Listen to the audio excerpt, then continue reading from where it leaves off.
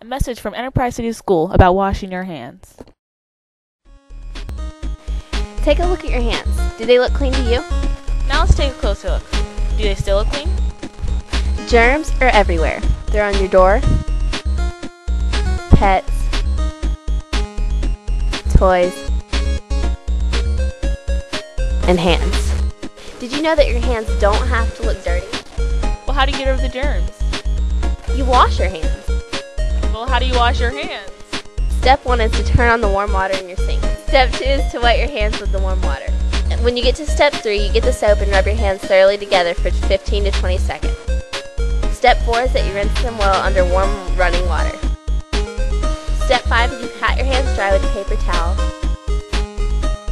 And then the last step, step six, you use a paper towel to open the bathroom door. When should you wash your hands?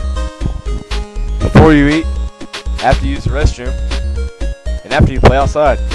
Thank you for listening to this public service announcement from Enterprise City Schools. Remember, wash your hands on a regular basis. When should you wash your hands? Every day!